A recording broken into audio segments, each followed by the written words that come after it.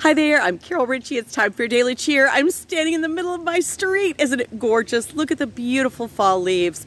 Remember that you are magic and fashion is magic. So here in the Magic Capital, we always have an excuse to get dressed up. It doesn't matter if it's a special night or not.